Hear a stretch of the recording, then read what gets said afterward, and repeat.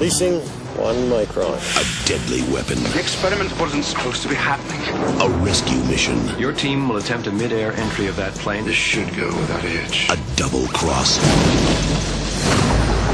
For an elite team of government agents. We're just a kinder, gentler special ops squad.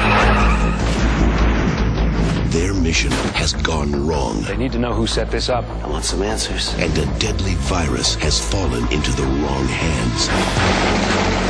Now, an international arms dealer He's cunning. He's a killer. We don't even know what he looks like. controls the weapon If the virus is contained, it's safe. What about direct contact? Don't ask. that controls the world. We retrieved it once, we could do it again. If you fail, we'll come in and do what we can, but only if you drop the ball. Nice pep talk, boss. But there's one team So, this is the Mac 1 team. he can't control. Where's the virus? Put the gun away. He suspects anything, the game is over. Got him! Steve Guttenberg. Move! Sean Bean. Retrieve target and terminate subject. Colm Feore. Fix the package and blow the house down. Tori Higginson. We got major electrical problems in here. Kim Coates. Stressful business we're in, isn't it? Let's rock.